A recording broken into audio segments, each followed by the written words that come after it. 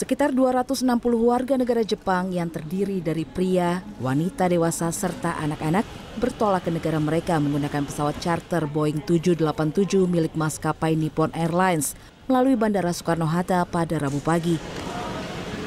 Dari catatan keimigrasian sejak 3 hingga 21 Juli 2021, total ada 2.070 warga negara Jepang yang telah meninggalkan Indonesia.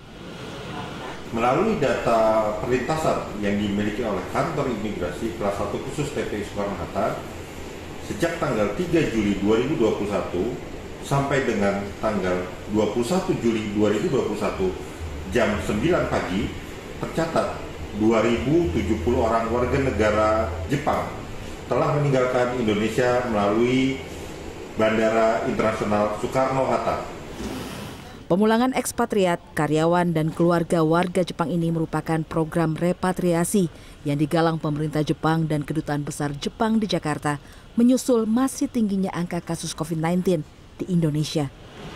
Dimas Arief Setiawan, Tangerang, Banten.